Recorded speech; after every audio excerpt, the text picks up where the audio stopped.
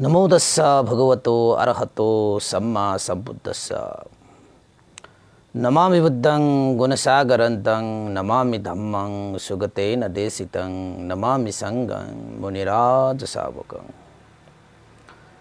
नमो बुद्धाय नमो धम्माय नमो सङ्गाय श्रद्धालु उपासक उपासिका तथा सदर्भप्रेमी महानुभावहरू आज मिति दुई हजार उनासी साल असोज छब्बिस गते बुधबार बिहानको आठ बजेदेखि नौ बजेसम्मको फेसबुक लाइभ धर्मदेशना लिएर तपाईँहरूको सामुन्ने सदा चाहिँ म भिक्षु इमलो श्री सिद्धिमङ्गल बुद्ध विहार सिद्धिपुर सानागाउँ थसी महालक्ष्मी नगरपालिका वडा नम्बर छ बुद्ध मार्ग ललितपुरबाट उपस्थित भइसकेको छु देश विदेशबाट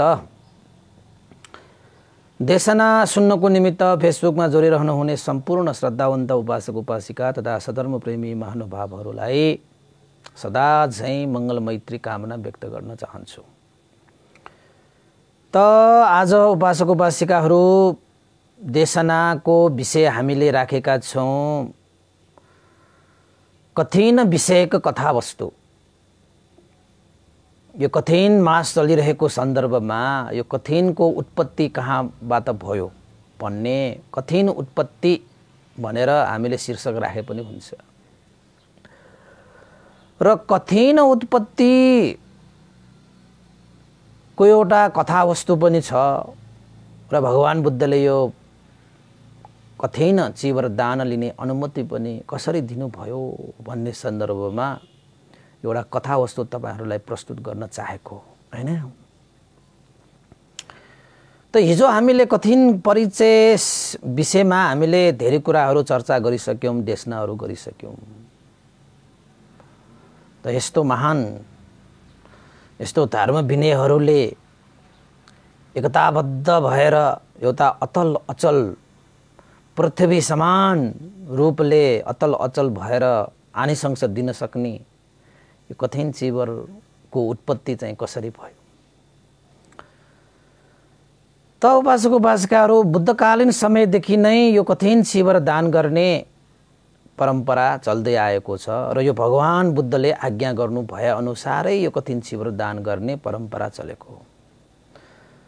र यहाँनिर याद गर्नुपर्ने विषय रहेको छ कि साक्यमुनि तथागत भगवान् बुद्धले मात्रै हो कि या अरूले अरू बुद्धहरूले पनि यो कठिन चिवर दान गर्ने अनुमति दिनुहुन्छ त भन्ने कसैलाई मनमा लागेको छ भने सबै बुद्धहरूले प्रज्ञप्त गर्नुभएको यो कठिन चिवर दान हो भन्ने कुरा हामीले बिर्सनुहुन्न हरेक बुद्धहरूको पालामा जति पनि यो संसारमा बुद्धहरू प्रादुर्भाव भएर गए ती सम्पूर्ण बुद्धहरूले पनि कठिन चिवर दान गर्ने अनुमति दिनुहुन्छ।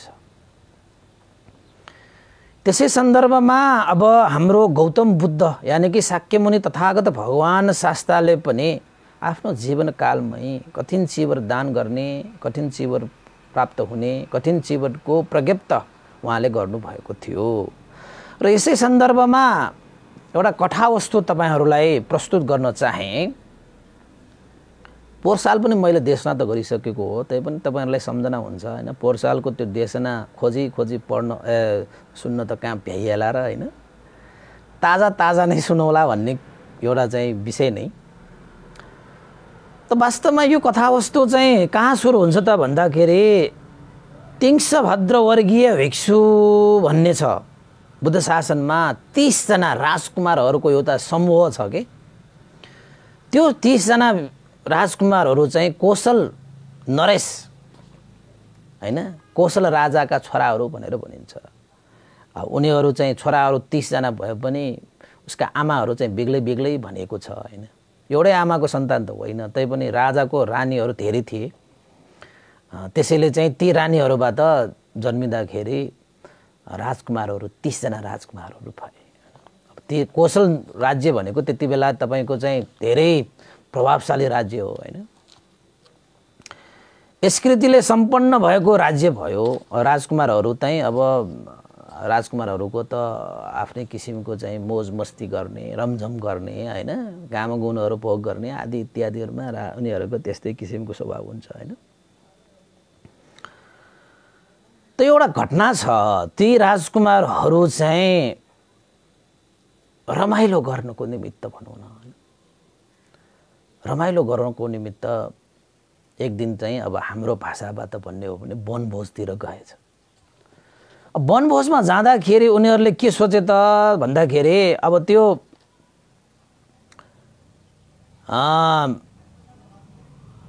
त्यति बेलाको समय जुन बेला भगवान् बुद्ध वाराणसी राष्ट्र उर्वेल वनमा एउटा घना जङ्गलमा विराजमान हुनुहुन्थ्यो। त भगवान् बुद्धलाई के थाहा थियो त भन्दाखेरि आज एउटा विशेष घटना घट्नेवालामा छ। जुन घटनाक्रमले धेरै उपकार हुनेछ। कसको उपकार त भन्दाखेरि ती राजकुमारहरू तिसजना राजकुमारहरूको ठुलै उपकार हुन् हुनेछ भनेर उहाँले आफ्नो ध्यान बलले धर्मचक्षुले देखेर नै उहाँ वसपल भगवान् बुद्ध चाहिँ तपाईँको एउटा वर्षावास चाहिँ उहाँ वाराणसी राष्ट्रको उर्वेल वनमा चाहिँ विराजमान हुनुहुन्थ्यो। त्यति बेला नै तपाईँको चाहिँ ती तिसजना राजकुमारहरू वनभोजको क्रममा जङ्गलको बाटो हुँदै आउनुभएको रहेछ। उनीहरू दिनभरि रमाइलो गरे खेले। भनिन्छ तपाईँको नुहाइ ढुवाइसम्म पनि गरे भनेर पनि भनिन्छ। अब त वस्त्र शस्त्रहरू नै तपाईँको फुकाल्नु पर्ने हुन्छ तब नुहाइ ढुवाइ गर्दाखेरि। ती तिसजना भिक्ष ए तिसजना राजकुमारहरू मध्येमा एकजना राजकुमारले चाहिँ एकजना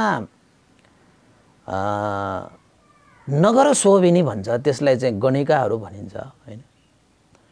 एकजना राजकुमारको चाहिँ एउटा स्त्री नभएको कारणले गर्दाखेरि उसले चाहिँ एकजना स्त्रीलाई चाहिँ भाडामा लिएको कि? यानि कि पैसा दिएर एक दिनको लागि रमझम गर्नुको निमित्त साथी हुनको निमित्त अरू सबै राजकुमारहरूको चाहिँ अरू स्त्रीहरू साथी थिए होइन? एकजना राजकुमारको नपुगेपछि त्यो राजकुमारलाई चाहिँ अलिकति नरमाइलो होला। नमजा होला। सबैको साथमा चाहिँ स्त्रीहरू थिए महिलाहरू थिए उसको मात्रै नभएपछि उसलाई नरमाइलो हुने देखिएकोले सबैको सहमतिमा चाहिँ एकजना एउटा नगर शोभिनी एउटा गणिका एउटा स्त्रीलाई उनीहरूले चाहिँ अब बालमा लिए जस्तो पैसा दिएर होइन उनीहरूले चाहिँ लिएर आएको रहेछ। राजकुमार न पऱ्यो अब एकजना स्त्रीलाई उनीहरूले बोकेर आउनु उसलाई के गाह्रो भयो होइन तर त्यो नगर शोभिनी भनेर भनिन्छ। त उनीहरू दिनभरि त्यसरी चाहिँ खेल्दै गर्दाखेरि सबै राजकुमारहरू ती स्त्रीहरू सबै चाहिँ कस्तो त रमाइलो गर्दै समय बिताउँदै गर्दाखेरि त्यो जुन स्त्री छ नगर शोभिनी भने भनिन्छ तपाईँ गणिकाहरू पनि भनिन्छ यस पैसा दिएर एउटा चाहिँ बालमा लिए जस्तो लिएर आएको त्यो स्त्रीको चाहिँ ध्यान चाहिँ कस्तो त थियो त भन्दाखेरि ती सम्पूर्ण राजकुमारहरूले जुन वस्त्र लगाएको थियो जुन चाहिँ तपाईँको गरगहनाहरू लगाएको थियो त्यसमै मात्रै उसको ध्यान थियो। त किन त भन्दाखेरि उनीहरूले आफ्नो पैसाको लागि आफ्नो जिउसम्मै बेच्नको निमित्त तयार भएको ती स्त्रीहरूले अब राजकुमारहरूको त्यस्तो चाहिँ गरगहना देखेपछि लोभिने त स्वभाव नै भइहाल्यो। होइन? अब अरू अरू राजकुमारहरूको जुन स्त्रीहरू थिए उनीहरूको चाहिँ महिलाहरू भनेपछि उहाँहरूको श्रीमती नै भए होइन? तर उनीहरूले त अब त्यो लोभिनु पर्ने कुनै कुरै भएन। आफ्नै जस्तो भइहाल्यो होइन? तर एकजना त्यो नगर शोभिने जुन त्यो गणिका छ उसको मनमा लोभ उत्पन्न भएको कारणले गर्दाखेरि कुन बेला मौका पारौँ र सबैको त्यो गरगहनाहरू पोको पारेर म कुइचा भाग गरौँ? यत्रो गरगहनाहरू प्राप्त भइसकेपछि त मेरो जीवनमा अब म त हाई सन्चोले बसे पनि पुग्ने भयो भनेर उसको मनमा त्यही कुराहरू मात्र खेलिरहेको थियो त्यही कुराहरू मात्र खेलिरहेको थियो र उसले चाहिँ मौका छोपिरहेको थियो। राजकुमारहरू उसका श्रीमतीहरू र अरू राजकुमारहरू पनि रमाइलो गर्दै होइन? समय बिताउँदै गर्दाखेरि त्यो नगर सोभिनीले मौका पारिहालेछ। नुहाइट भए पनि गरे होइन खानपान होइन नाचगान सबै भयो जस्तै तपाईँ हाम्रो अब वनभोज गए भनेपछि अब वनभोजमा के के हुन्छ हुन्छ होइन रमाइलो भइहाल्छ। त नगर सोभिनीले मौका पर्ने बित्तिकै सारा त्यो राजकुमारहरूको गहर गहनाहरू पोको पारेर त्यहाँबाट कुइचा पाक भए। त्यसपछि अब समय त भयो। दिनभरि त्यहाँ बसिरहने कुरा पनि भएन। समयसँगै सबै राजकुमारहरू चाहिँ अब फर्किनु पर्ला होइन। भनेर चाहिँ सबै फर्किनको लागि चाँजोबाजो मिलाएको के थियो? आफूहरूले चाहिँ फुकालिरहेको वस्त्र तपाईँको चाहिँ गरगहनाहरू त त्यहाँ चाहिँ छैन त। कहाँ गयो कहाँ गयो कसले लियो कसले लियो? सबै मान्छेलाई यसो हेरे सबै राजकुमारहरूले चाहिँ कहाँ गयो कसो गयो त्यो खोज नीति भयो। सबै राजकुमारहरूका चाहिँ श्रीमतीहरू पनि सबै छन्। त्यही नगर सोभिनी गनेका एकजना मात्रै त्यहाँ थिएन। भनेपछि सबै राजकुमारहरूले के ठाने त भन्दाखेरि यही नगर सोभिनी होइन? यसले नै हाम्रो चाहिँ गरगहनाहरू लिएर गए गयो। यो त चोर पो चोर्नी पो रहेछ त। कस्तो आँट होला अब राजकुमारहरूको गरगहना लिएर भाग्न सक्ने? उसलाई फेला पर्यो भने त उसको खैरत छैन त। राजकुमारहरूले त अलिकति के हो त भन्दाखेरि दण्ड दिने सजाय दिने उनीहरूको त्यस्तै स्वभावको हुन्छ होइन। सबैको सहमति अनुसार त्यो नगर सोभिनीलाई खोज नीति गर्ने उनीहरूले निर्णय गरेछ। त्यो त्यसलाई भेत्तायो भने राज्यको नीति अनुसार त्यसलाई चाहिँ दण्ड दिनुपर्छ। अब केमा त दण्ड गर्छ होला त? ज्यानै जान्छ होला भेट्यो भने त। त्यसपछि ती तिसजना राजकुमारले त्यो नगर सोभिनीलाई खोज्नतिर लागे। अब जङ्गलको त्यो हिसाबबाट भन्ने हो भने चाहिँ तपाईँको दृश्य चाहिँ कस्तो थियो त भन्दाखेरि जङ्गल थियो त्यहाँ एउटा खोला पनि थियो कलकल बग्ने खोलाहरू त्यहाँ चाहिँ नुहाउन पनि मिल्थ्यो त्यहाँ चौर पनि थियो होइन? एकदम रमाइलो वातावरण थियो रहेछ। त्यो त्यहाँबाट चाहिँ राजदरबारतिर फर्किँदाखेरि चाहिँ एउटा जङ्गलको बाटो भएर जानु पर्थ्यो। जुन जङ्गल चाहिँ भनिएको छ वाराणसी राष्ट्र उर्वेल वन भनेर भनिएको छ।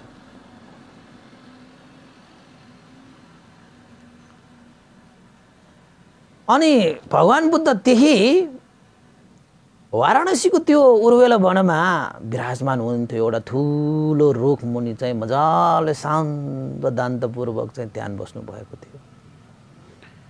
भगवान् बुद्ध त्यत्तिकै कहीँ पनि जानुहुन्न। एउटा पाइला पनि भगवान् बुद्धले त्यत्तिकै चाल्नुहुन्न। त भगवान् बुद्धको उद्देश्य त्यो उर्वेल वनमा आएर बस्नुको कारण के रहेछ त भन्दाखेरि तिसजना ती राजकुमारहरूलाई भेटिनेछ। ती तिसजना राजकुमारहरूलाई भेटिसकेपछि मैले उपदेश दिनुपर्छ र ती उपदेश सुनिसकेपछि ती राजकुमारहरूको कल्याण हुनेछ मङ्गल हुनेछ भन्ने कुरा आफ्नो ध्यान चक्षुले देखेर नै भगवान् बुद्ध त्यहाँ पाल्नु भएको हो वास्तवमा। त भगवान् बुद्ध एउटा विशाल रुख मुनि विश्राम लिएर मजाले ध्यान आसनमा बसेर बसिरहनु भएको थियो। तिसजना ती राजकुमारहरू ती नगर सोभिनीलाई खोज्दै खोज्दै खोज्दै खोज्दै आउनुभयो। यता छ कि उता छ कि होइन जङ्गलमा यत्रो तत्र गरे ए नगर सोभिनी कहाँ छ त यस्तै यस्तै भन्यो होला। फिल्ममा भए त डाइलग साइलग पनि राख्नु मिल्थ्यो होइन। तैँले के अपराध गरिस् तँलाई थाहा छ? तँलाई भेटियो भने तँलाई कुन चाहिँ सजाय हुन्छ? थाहा छ कि छैन? भनेर आफ्नै किसिमले कराउँदै राजकुमारहरू आउँदै गर्दाखेरि त त्यो जङ्गलमा त्यस्तो विशाल एउटा रुखमा भगवान् बुद्ध शान्त दान्त भएर बसिराख्नु भएको ती तिसजना राजकुमारहरूले देखे। बाटोको छेउमा जङ्गलमा त धेरै बाटो हुँदैन तपाईँको चाहिँ एउटा दुईवटा बाटो हुन्छ त्यो बाटो भएर जानुपर्छ होइन? त्यो बाटोको छेउमै त्यो एउटा रुखमा त्यसरी बसिराखेपछि अब त्यो तिसजना ती राजकुमारहरूले भगवान् बुद्धले सोधे। भगवान् शास्ता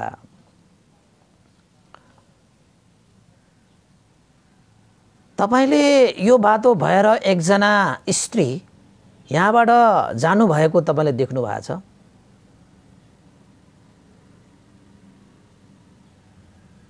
भनेर भनिसकेपछि भगवान् बुद्धले ती स्त्रीसँग राजकुमारहरूको के प्रयोजन? भगवान् बुद्धले सोध्नु भइसकेपछि ती राजकुमारहरूले भने त्यस स्त्री नगर शोभिनी उनातिसजना राजकुमारहरूको आफ्नै श्रीमतीहरू थिए स्त्रीहरू थिए। एकजना राजकुमारको हाम्रो स्त्री नभएको हुनाले यो जङ्गलमा रमाइलो गर्नको निमित्त आउँदै गर्दाखेरि एकजना राजकुमारको लागि पनि नगर शोभिनी हामीले सँगै बोकेर आएका थियौँ। रमाइलो गरिरहेका थिएँ हामीले होसै पाएन त्यो स्त्रीले त हाम्रो राजगहनाहरू सबै लिएर भागेको रहेछ। त्यसैले भगवान् शास्ता त्यो स्त्रीलाई हामी खोज्दै आएका हौँ। कतै तपाईँले देख्नुभयो कि? तपाईँ त बाटोमै हुनुहुँदो रहेछ। अब यो जङ्गलको बाटो त यही हो। भनेपछि तपाईँले पक्कै देख्नुभयो कि भनेर तपाईँलाई हामीले सोधेको भनेर ती तिसजना राजकुमारहरूले भगवान् बुद्धलाई जवाब दिए। त त्यसपछि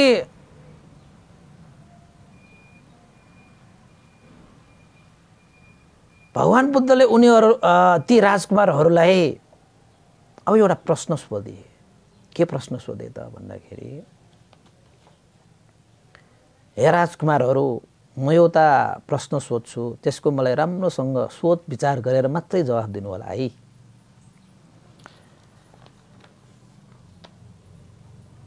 त्यो स्त्रीलाई खोज्नु जाति कि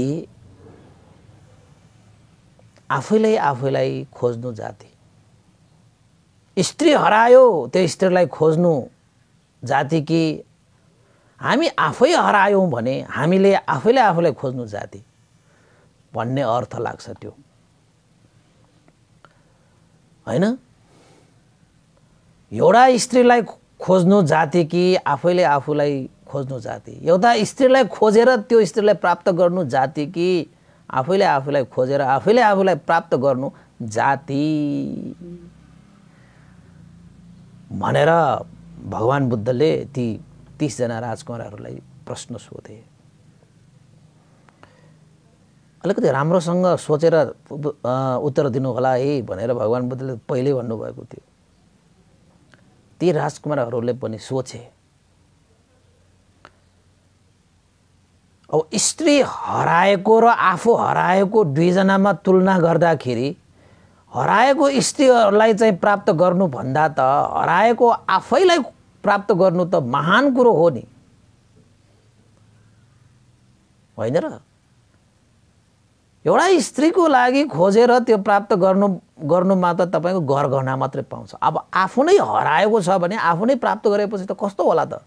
कति लाभ होला त होइन? त्यसपछि ती राजकुमारहरूले सोच विचार गरेर जवाफ दिए भगवान् शास्ता हाम्रो लागि त स्त्रीलाई खोज्नुभन्दा पनि आफैले आफैलाई खोज्नु चाहिँ जाति हो।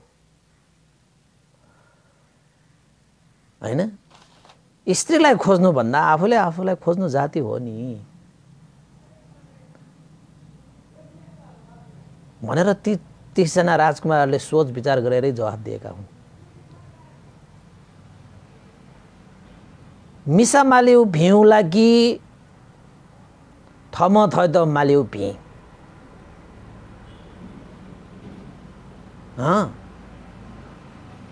एउटा नगर शोभिनी त्यो गणेका त्यो स्त्रीलाई खोज्नु जाति कि आफैले आफूलाई खोज्नु जाति भन्ने प्रश्नमा तिसजना भिक्षुहरूले त मजाले जवाफ दिए नि भगवान् बुद्धले थाहा पाइहाल्नुभयो। यिनीहरूले चाहिँ सही जवाफ दिइरहेको छ। उनीहरूले सही रूपमा सोच गरिरहेको छ। सम्यक दृष्टि उनीहरूको हृदयमा उत्पन्न भएको छ। भनेपछि सम्यक दृष्टि भनेको चाहिँ तपाईँको निर्वाण पुग्ने पहिलो खुड्किला हो नि त त्यो। आर्य अष्टाङ्गिक मार्गको पहिलो अङ्ग हो त्यो। त्यसपछि अब उनीहरूलाई के थाहा छ त भन्दाखेरि स्त्रीलाई खोज्ने कुरा मात्रै पो थाहा छ त। बाटो बाटो हुँदै हे नगर सोबिनी कहाँ छौ तिमी? भनेर कराउँदै त्यो स्त्रीलाई खोज्नु पो उनीहरूलाई थाहा छ त। तर उनीहरूले आफैले आफूलाई यदि आफूले आफूलाई नै खोज्नु पर्यो भने कसरी खोज्ने होला? त्यो त थाहा थिएन नि। राजकुमारहरूले भने भगवान् शास्ता यो स्त्रीलाई खोज्ने कुराको बारेमा त हामीले बुझ्यौँ तर हामीले उत्तर त दियौँ। तपाईँलाई आफूले आफैलाई खोज्नु चाहिँ जाति भनेर चाहिँ हामीले चाहिँ उत्तर चाहिँ दियौँ। तर यो आफैले आफैलाई खोज्ने भनेको चाहिँ कसरी होला? उत्तर त दिए हामीले आफूले आफूलाई खोज्नु जाति तर खोज्नु चाहिँ कसरी फेरि? त भगवान् बुस बुद्धले मुसुक्क मुस्कुराउनु भएर राजकुमारहरूलाई भने ए राजकुमारहरू आओ सही जवाब दिएका छौ राजकुमारहरूले।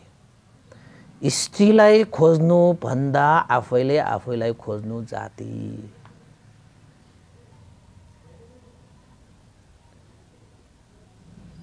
यस्तो जाति हो भने आओ मेरो सामुन्य बस।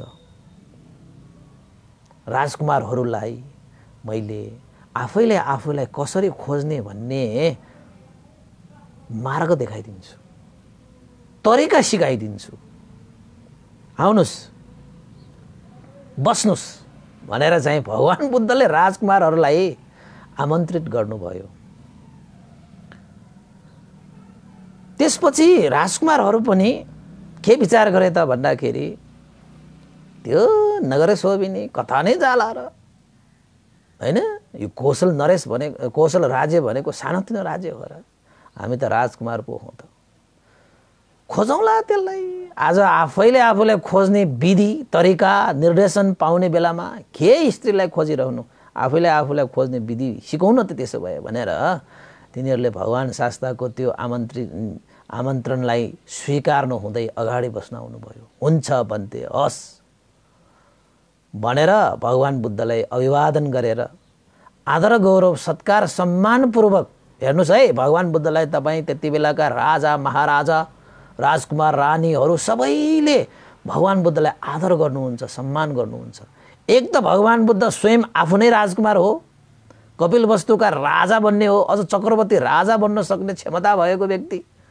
सारा संसारले बुद्ध भनेर मानिसकेको व्यक्ति देवता र ब्रह्माहरूलाईसम्म मानिसकेको व्यक्ति भगवान् शास्त्र ती राजकुमारहरूले पनि माने। भगवान् शास्त्र हामीलाई आफैले आफूलाई कसरी खोज्ने त्यो मार्ग बताइदिनुहोस्। होइन? भगवान् बुद्धको देशना अनुसार त हामी त आफू आफैमा हराइरहेका रहेछौँ त। आफूले आफूलाई पो खोज्नुपर्ने रहेछ त। कहाँ स्त्रीको पछाडि दौडेर चाहिँ आफूले आफूलाई खोज्नमा ढिलाइ गरिरहनु होइन?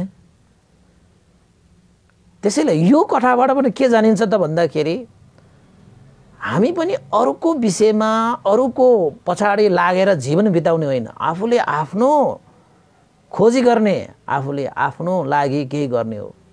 तपाईँ अरूको पछाडि लागेर अरूको विषयमा मात्रै लागिरहनु भयो भने तपाईँको जीवन पछाडि पर्छ। त्यसैले अरूले के गर्यो कसो गर्यो के भन्यो कहाँ के गर्यो भनेर चाहिँ चियो चर्चा गरिरहनु भन्दा पनि आफूले के गरेँ कसो गरेँ मैले के गर्नुपर्छ त्यो विषयतिर लाग्नु पर्यो। यदि ती तिसजना राजकुमारहरू त्यही स्त्रीको खोजीमा निस्केको भए आज उनीहरूको नाम हामी लिँदै लिँदैनौँ। उनीहरूले चाहिँ स्त्रीलाई खोज्नुभन्दा आफैले आफैलाई खोज्नु जाति भनेर भगवान् बुद्धको सामुन्य बस्न आउनुभयो त भगवान् बुद्धले उनीहरूलाई उपदेश गर्नुभयो। त्यसलाई चाहिँ आनुपूर्वी कथा देशना भनेर भनिन्छ। त आनुपूर्वी कथा देशना भनेर जुन हामीले चाहिँ देशना गरिसकेका छौँ होइन यो आने पूर्व कथा देशनामा चाहिँ दान सम्बन्धी कथा शील सम्बन्धी कथा स्वर्ग सम्बन्धी कथा काम गुणको दोष सम्बन्धी कथा काम गुणको हीन भाव सम्बन्धी कथा काम गुण को परिणाम सम्बन्धी कथा होइन अनि त्यसपछि नैष्कम्यताको प्रतिफलको कथा भनेर चाहिँ विभिन्न कथाहरू देशना गर्नुहुन्छ त्यसलाई भगवान् बुद्धले आनु पूर्वी कथा देशना भनेर भनिन्छ त्यही राजकुमारहरूलाई भगवान् बुद्धले एक एक एक एक गर्दै खुत्किला माथि चढाउँदै चढाउँदै चढाउँदै चढाउँदै चढाउँदै अन्तस नैष्कम्यता नैष्क्रम्यता भनेको संसारिक विषयवस्तुबाट अलग्ग भएर संसारिक विषयवस्तुबा विषयवस्तुलाई त्यागेर श्रमण भएर श्रमण फलको रसलाई पान गरेर मार्गफल निर्वाण धर्मलाई साक्षात्कार गरेर निर्वाण धर्मको साक्षात्कार गरिसकेपछि सम्पूर्ण दुःखबाट मुक्त भइन्छ भन्ने कथा देशना। जुन भगवान् बुद्धले क्रमैबद्ध रूपमा देशना गर्नुहुन्छ त्यसलाई आनुपूर्वी कथा देशना भनेर भनिन्छ। त्यसपछि त्यो कथा सुनिसकेपछि आनुपूर्व कथा सुनिसकेपछि ती तपाईँको चाहिँ यो तिसजना ती भिक्षुहरूको मन चाहिँ मलिलो भयो। मलिलो भनेको तपाईँको कलिलो भयो। जसरी एउटा किसानले कुनै पनि बिउ रोप्नको लागि सबभन्दा पहिला आफ्नो भूमि माटोलाई मलिलो बनाउँछ। त्यो के हालेर? पानी हालेर। त्यहाँ के गर्छ उसले? घाँस पात सबै फडा फडानी गर्छ जरासराहरू सबै उखेलेर फा फ्याँक्छ। होइन? बिउ रोप्नको लागि किसानले त्यसो गर्छ। त भगवान् बुद्धले पनि यो आनुपूर्वी कथा भनेको चाहिँ कुनै पनि व्यक्तिको हृदयमा सत्य धर्मलाई बिजारोपण गर्नु अगाडि किसानले जसरी तपाईँको माटोलाई मलिलो बनाए जस्तै भगवान् बुद्धले पनि आनुपूर्वी देशना गरेर कुनै पनि व्यक्तिको हृदयलाई कमलो बनाउँछ मलिलो बनाउँछ उर्वरा बनाउँछ कि? त्यो आनुपूर्वी कथा देशना भनेको त्यस्तो। त भगवान् बुद्धले ती पञ्च ए त्यो तिङ्स भद्रवर्गीय ती राजकुमारहरूको मन कलिलो मलिलो भएको देख्ने बित्तिकै अब मैले यी राजकुमारहरूको हृदयमा चतुर आर्य सत्य सधर्मको बिजारोपण गरे पनि भयो भन्ने थाहा पाइसकेपछि भगवान् बुद्धले ती तिसजना राजकुमारहरूलाई चतुर आर्य सत्यको देशना गर्नुभयो। चतुर आर्य सत्य भनेको दुःख सत्य दुःखको समुदय सत्य दुःखको निरोध सत्य दुःख निरोध गामिनी प्रतिपदा यानि कि मार्गको सत्य। यसलाई चतुर आर्य सत्य भने भनिन्छ भगवान् बुद्धको मूल शिक्षा। अब भगवान् बुद्धले ती राजकुमारहरूलाई आफ्नो हृदयमा सत्यरूपी बिजारोपण गर्नुभयो। यानि कि चतुर आर्य सत्यको पनि देशना गर्नुभयो। त जब ती राजकुमारहरू जुन राजकुमारहरू यो संसारिक विषयवस्तुहरूमा लिप्त थिए काम गुणमा आसक्त थिए। पञ्चकाम गुणमा रमाइलो मान्ने ती राजकुमारहरू पनि यो आनुपूर्वी कथा देशना बिस्तारै सुन्दै सुन्दै सुन्दै सुन्दै सुन्दै अन्त चतुर आर्य देशना चतुर आर्य सत्यको देशना सुटिसकेपछि त्यहीँको त्यहीँ राजकुमारहरू कोही श्रोतापन्न भए कोही सकृतागामी भए कोही अनागामी फलमा प्रतिष्ठित भए भनेर उल्लेख पाइन्छ। ल हेर्नुहोस् त एकपल्ट मात्र भगवान् बुद्धको सामुन्य बसेर श्रद्धा आस्था राखेर त्यो स्त्रीलाई खोज्नुको साथो उनीहरूले आफैले आफैलाई खोज्दाखेरि चाहिँ दुःखबाट मुक्त भएको ती मार्गफलहरू उनीहरूले प्राप्त गरे। तिसजना ती तिङ्स भद्रवर्गीय भिक्षुहरू भनिन्छ पछि चाहिँ उनीहरू। त्यसपछि उनीहरू त्यहाँको मार्ग फलमा प्रतिष्ठित भइसकेपछि ती राज तिसजना राजकुमारहरूले चाहिँ भगवान् बुद्ध समक्ष अब आफैले आफैलाई प्राप्त गरिसकेपछि हे यो संसार त पुरै माया मोह मात्र रहेछ भ्रमै भ्रम रहेछ यो पञ्चकाम गुण भनेको के हो र? हामी त यो पञ्चकाम गुणलाई नै सर्वोपारी ठानेर त्यसमै लिप्त भइरहेका छौँ। यस्ता पञ्चकाम गुण त हामीले जिन्दगीमा कयौँ भोगेर आइसके कहिले तृप्त नहुने यो अतृप्त भोगहरू हुनु यिनीहरू। यो संसारमा अझै पनि हामी लिप्त भएर बस्ने हो भने यो जीवनको कुनै सार्थकता छैन अर्थ छैन भनेर उनीहरूले त्यसैजना ती राजकुमारहरूले अब दरबार नगइकन भगवान् बुद्ध सामुन्ने भिक्षु भावमा बस्नको निमित्त उहाँहरूले प्रार्थना गरे।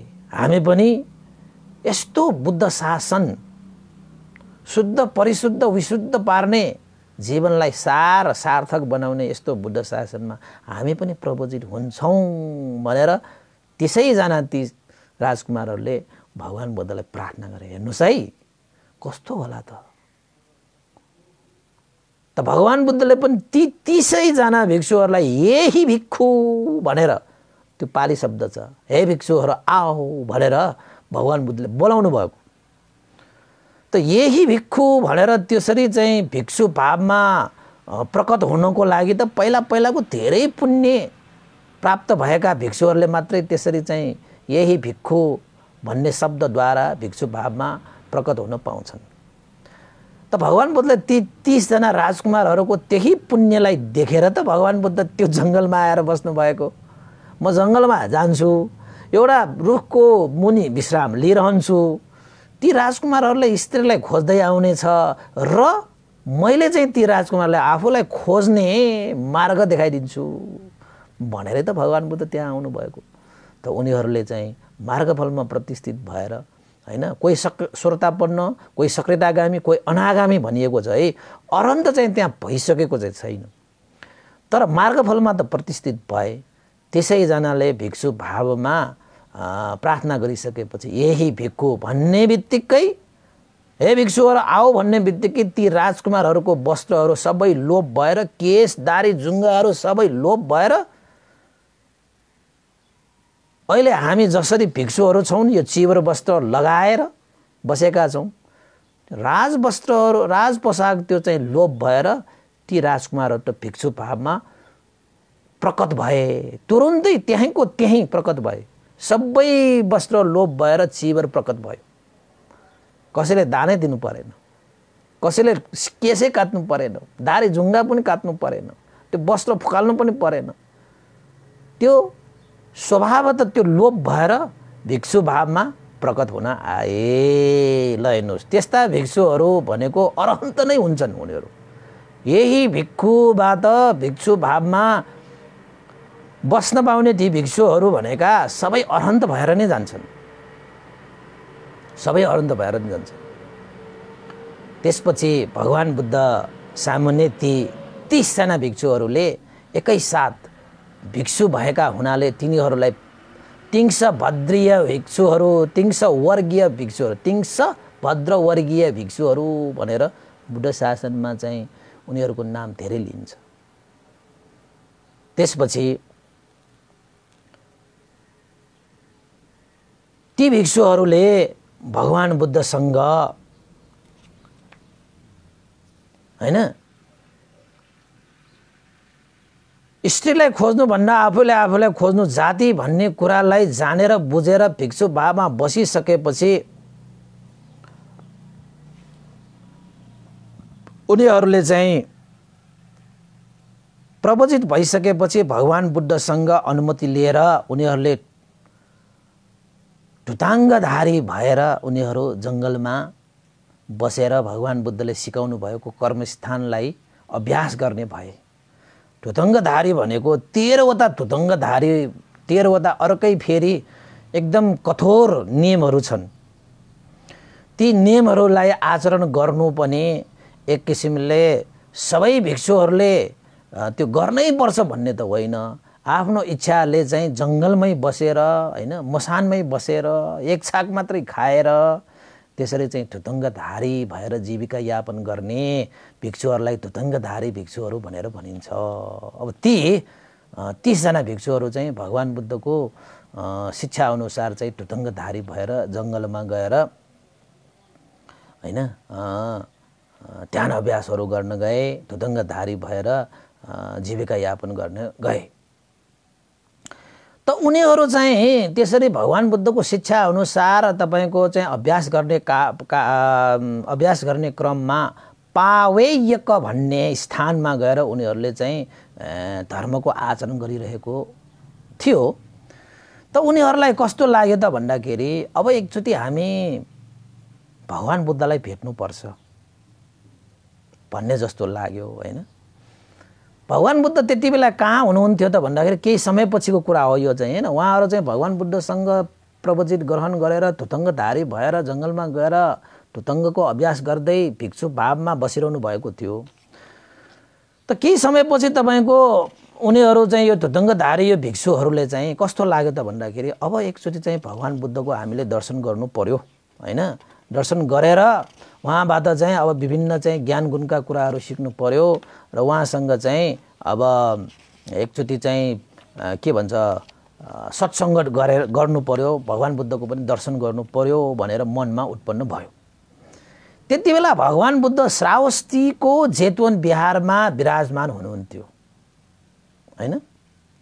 यो श्रावस्तीको जेतवन बिहार विराजमान हुनुभएको बेलामा ती तिङ्सभद्रवर्गीय भिक्षुहरू पावेय पावेयक ढुटङ्गधारी भिक्षुहरू भएर बसिरहनु भएको थियो होइन? त उनीहरूले भगवान् बुद्धलाई दर्शन गर्नको निमित्त आउँदै गर्दाखेरि भगवान् बुद्धसँगै वर्षावास बस्छु भनेर चाहिँ आउँदै गर्दाखेरि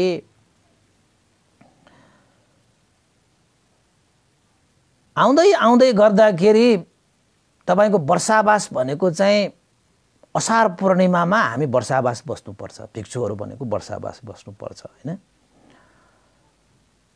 तर पावेयको भन्ने स्थानबाट जेतवन बिहारसम्म आउँदै गर्दाखेरि बिच बाटोमा साकेत भन्ने नगरमा आइपुग्दाखेरि वर्षावासको समय भएछ।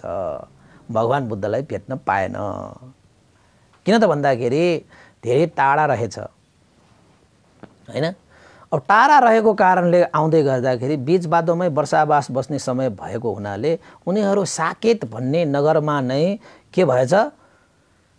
वर्षावास बस्नुभएको रहेछ।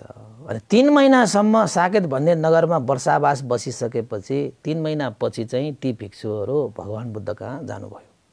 त्यति बेला जानु हुँदाखेरि चाहिँ ती भिक्षुहरूको जुन चिवर छ त्यति बेला ती चिवरधारी भनेर भनिन्छ होइन?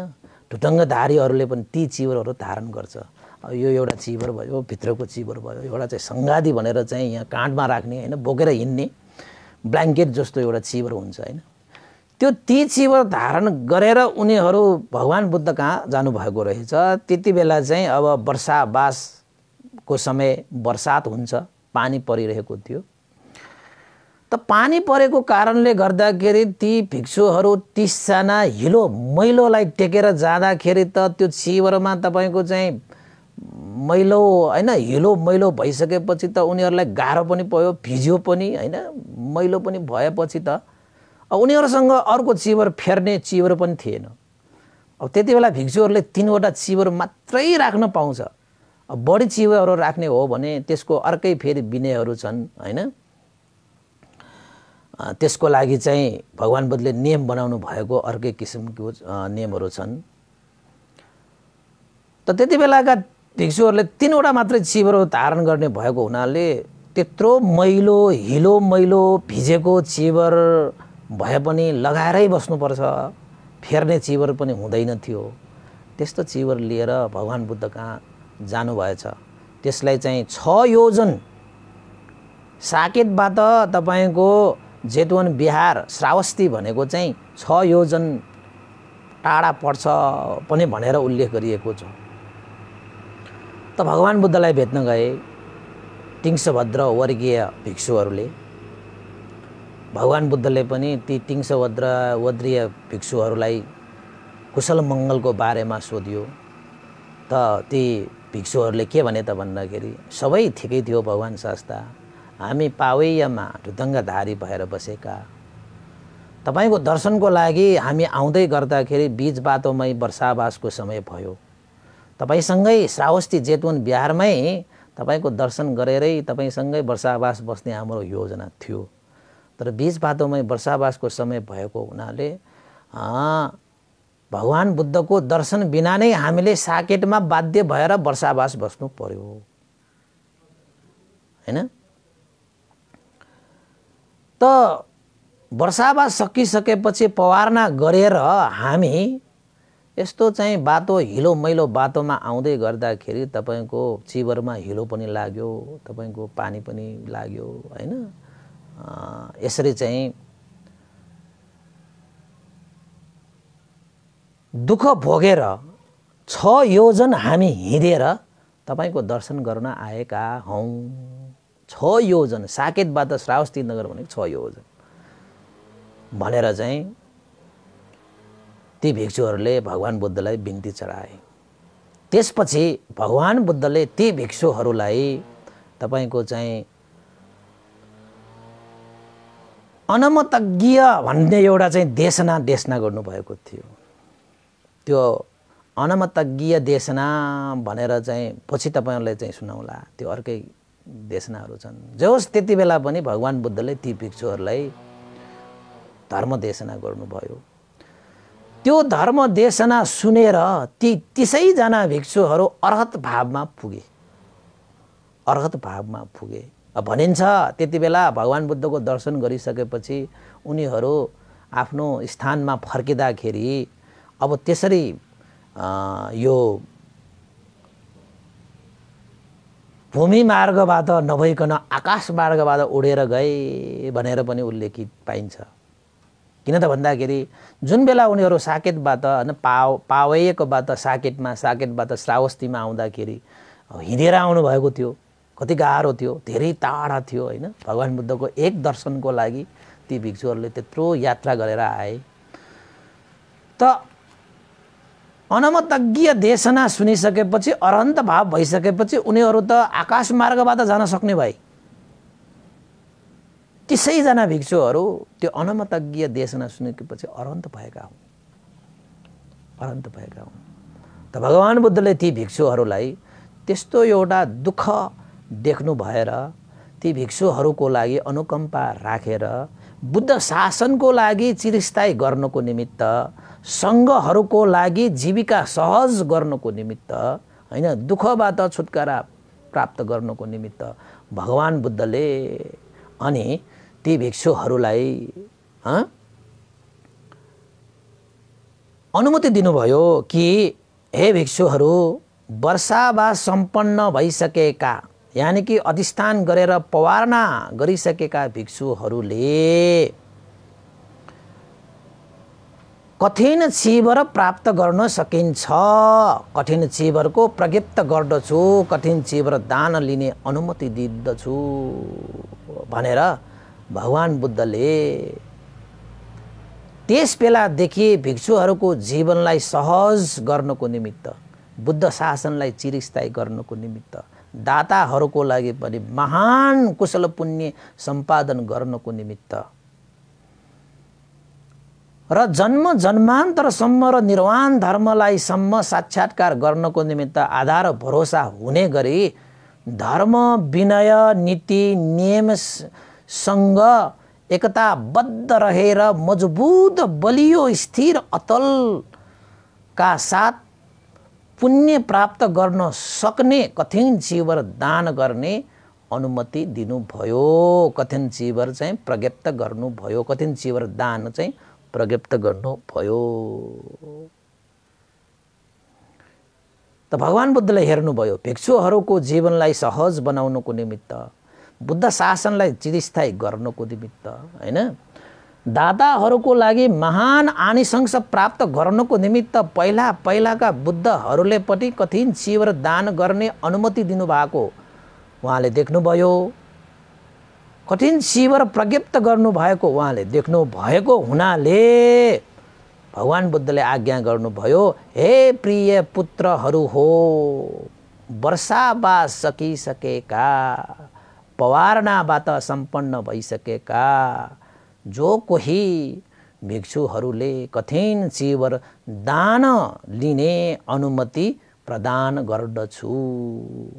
जुन बिहारमा जुन स्थानमा उपसम्पन्न भिक्षुहरूले असार पूर्णिमा अधिष्ठान गरेर कोजागत पूर्णिमा पवारणा गरिसकेका छन् भने त्यो स्थानमा श्रद्धा आस्था गौरव राखेर दानी दाताहरूले पनि महान कुशल सम्पादन गर्ने हेतु कठिन चिवर दान गर्ने अनुमति प्रदान गर्दछु भनेर अनि भगवान् बुद्धले त्यति बेला नै यो कठिन चिवर दान गर्ने अनुमति दिनुभएको।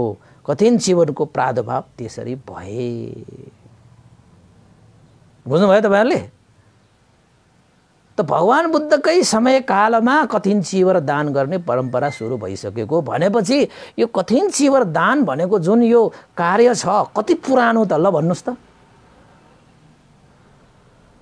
छब्बिस सय वर्ष अगाडि छब्बिस सय वर्ष भयो यो संसारमा कठिन चिवर दान भइरहेको यो परम्परा। थेरवार बुद्ध शासनमा मात्रै छ यो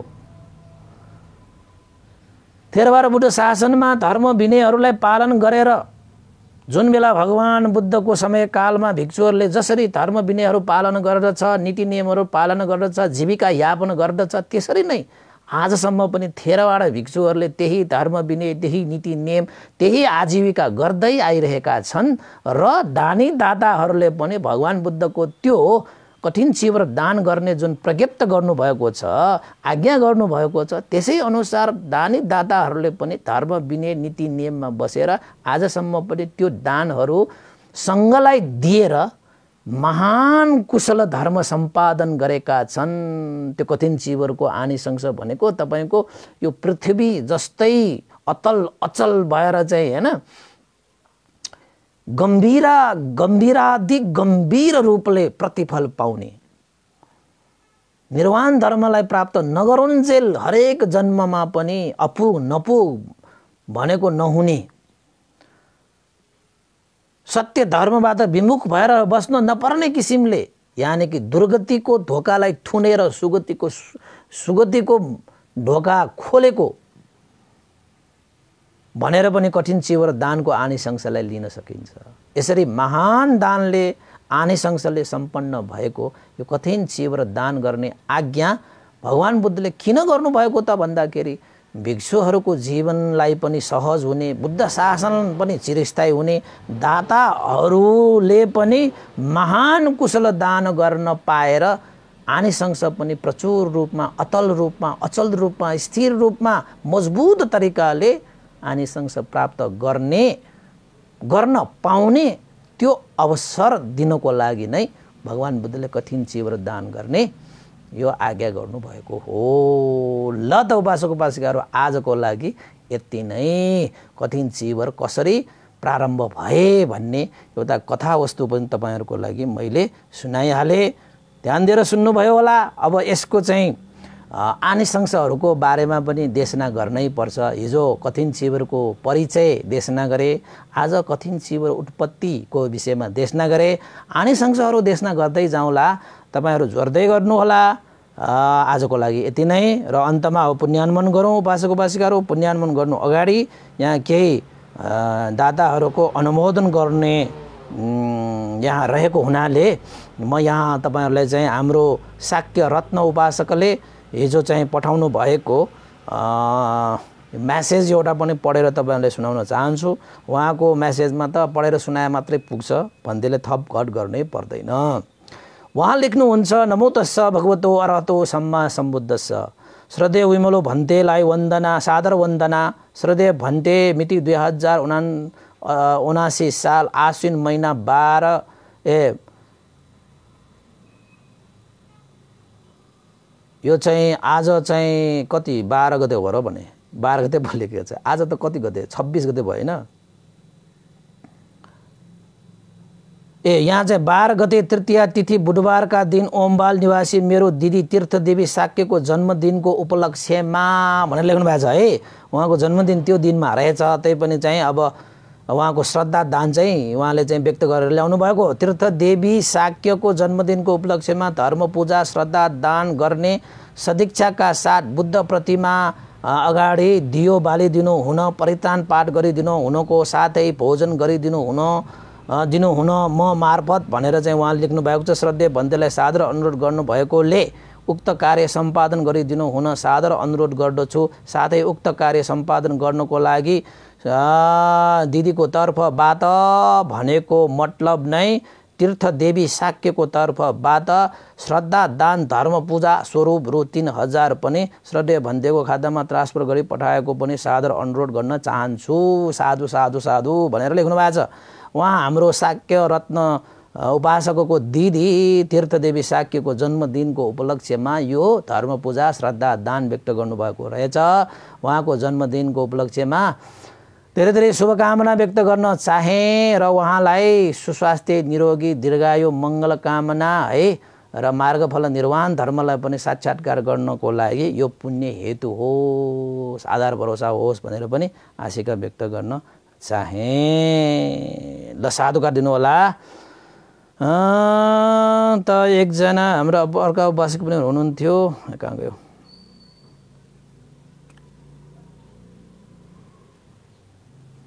ल केही छुटेको टुटफुट भएको छ भने चाहिँ भन्डेलाई भन्नु होला है। कहिलेकाहीँ यस्तो हुनसक्छ है।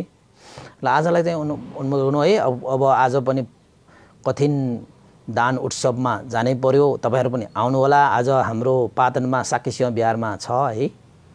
अब सकिनेसम्म तपाईँहरू पनि सहभागी हुन हुँदाखेरि राम्रै हो। यो धेरै आनिसंश प्राप्त हुने दान हो यो। अरू अरू दानभन्दा पनि यो दानले धेरै आनिसंश प्राप्त हुन्छ। तपाईँको हरेक जीवन सफल बनाउँछ तपाईँको समृद्धि बनाउँछ उन्नति गर्छ प्रगति गर्छ सत्सङ्गत प्राप्त हुन्छ धर्मलाई तपाईँले प्राप्त गर्न सकिन्छ र मार्गफललाई पनि प्राप्त गर्न सक्ने आनिसंसम्म पनि यो कठिन दानमा छ। त्यसैले चाहिँ यो कठिन दानमा सहभागी भएर पुण्य चाहिँ सञ्चित गरिराख्नुहोस् भन्न चाहन्छु है। आजलाई बिताउन चाहेँ। यो पुण्यको अनुभवले श्रद्धेय गुरुवर ज्ञानपूर्णिक मास्तिर भन्ती लगाएर श्रद्धेय गुरुवर स्याद औटुबन्दा विभंश लगाएर सम्पूर्ण गुरुजनमा देवता मनुष्य सत्व प्राणीहरूमा पनि तपाईँ हामी सबैमालाई पनि यो पुण्य प्राप्त भए हित सुख होस् मङ्गल होस् कल्याण होस् र सबैले कठिन उत्पत्ति कसरी भए भन्ने कथावस्तु सहितको आज देशमा सुनिदिनु भयो तपाईँलाई धेरै धेरै साधुवाद। भोलि पर्सि हामी आनिसंश यो कठिन चिवर दान गरेर प्राप्त हुने आनिसंश के के हुन् यसको विषयमा पनि हामी देशमा गर्दै जाउँला। आजको लागि यति नै। भौतु सबमङ्गलङ पुण्यानुमन गरौँ हिदाङ नो ज्ञातिनाङ ओतो सुखिता वन्तु ज्ञातयो हिदाङ नो ज्ञातिनाङ ओतो सुखिता वन्तु ज्ञातयो हिदाङ नो ज्ञातिनाङ ओतो सुखिता वन्तु ज्ञातयो एतावता चाम्मे हि सम्भतं पुण्यसम्पदं सब्बे देवानुमोदन्तु සබ්බ සම්පත්ති සිද්ධිය. ඒතාවතා චම්මේහි සම්භතං පුුණ්‍ය සම්පදං. සබ්බේ සත්තානුමෝදන්තු සබ්බ සම්පත්ති සිද්ධිය. ඒතාවතා චම්මේහි සම්භතං පුුණ්‍ය සම්පදං. සබ්බේ භූතානුමෝදන්තු සබ්බ සම්පත්ති සිද්ධියා. साधु साधु साधु। भवतु सब मङ्गलङ सबैलाई निमन्त्रणा गर्न पनि चाहेँ है। श्री सिद्धिमङ्गल बुद्ध विहारमा कार्तिक बिस गते समय छँदैछ होइन। तपाईँहरू पनि सबैलाई निमन्त्रणा छ। यसपालि हाम्रा चाहिँ काठमाडौँ निवासी धर्मरत्न सा मानन्दर र ए बुद्धरत्न मानन्द र धर्मदेवी मानन्दर उपासिक उपासक उपासिकाद्वारा यहाँ चाहिँ कठिन दान गर्ने श्रद्धा व्यक्त गर्नुभएको छ। सबैलाई निमन्त्रणा छ। भवतु सब मङ्गलङ कार्तिक बिस गते भेटौँला ल साधु साधु साधु साधु।